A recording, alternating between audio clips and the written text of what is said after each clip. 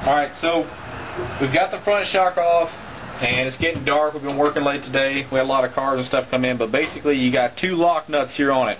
So you're going to have to compress the spring from the outside to it, and you got the same T30. You got to secure this so it doesn't spin, and we got There's two over here, Roy. and we got two wrenches here to loosen up the lock the uh, the lock nuts on there.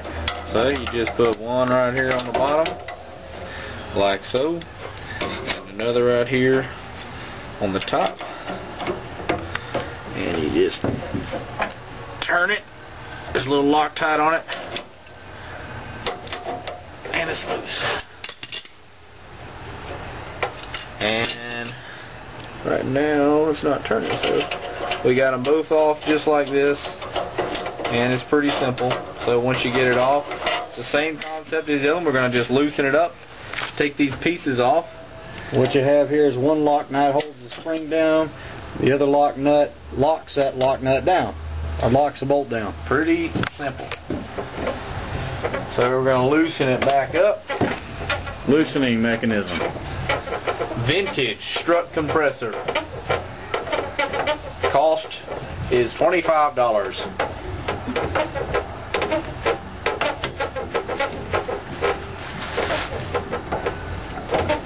And it should be about done. Is the big one. And that's it right there. So don't lose your lock nuts because kit sure as hell didn't come with any. Loosened up right there. Look at right there. We'll move over to our workbench.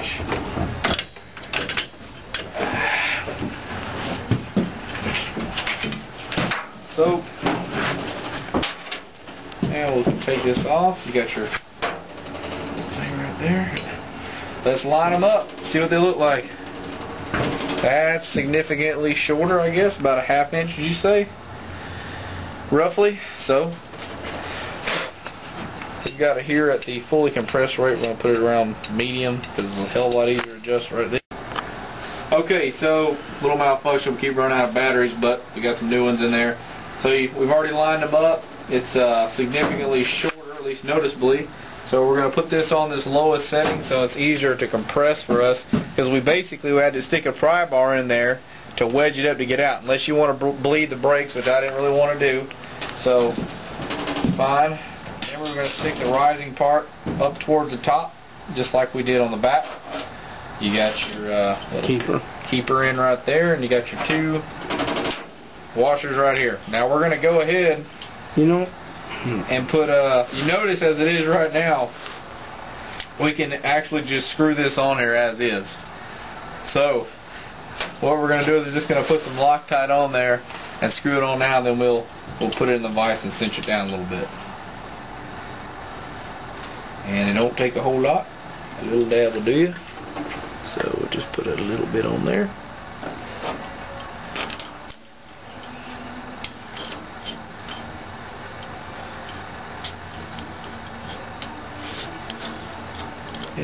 it screws down there. Real nice.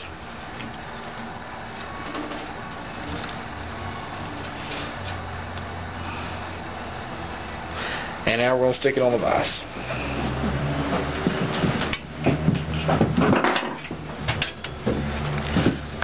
it might be a little tricky because they got a different spring different mechanism but we should still be able to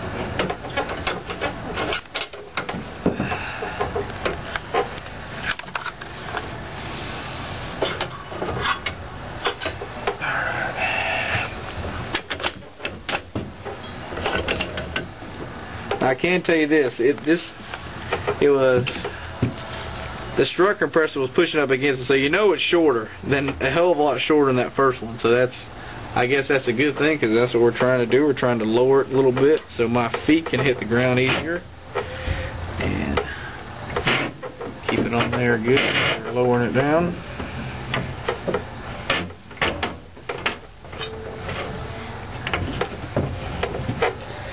And it lowers it down nice and easy. How about that?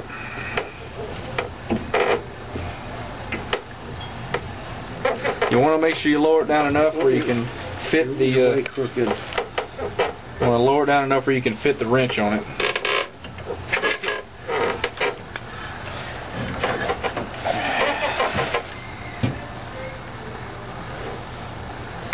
Actually, bring that up under it. Just direct it when it comes down. We'll push it over on, on its way down. Or it'll go. Alright, so as far as it'll go down, it's still got a little lock, lock tail there. We're just going to screw this one on there as well. And it really ain't got to be too tight because we got this thing pushing up against it. So we'll get our wrenches, which are here.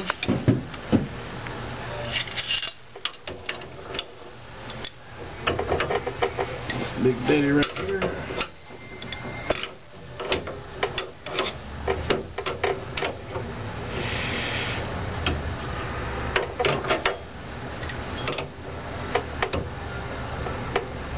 and that should be good.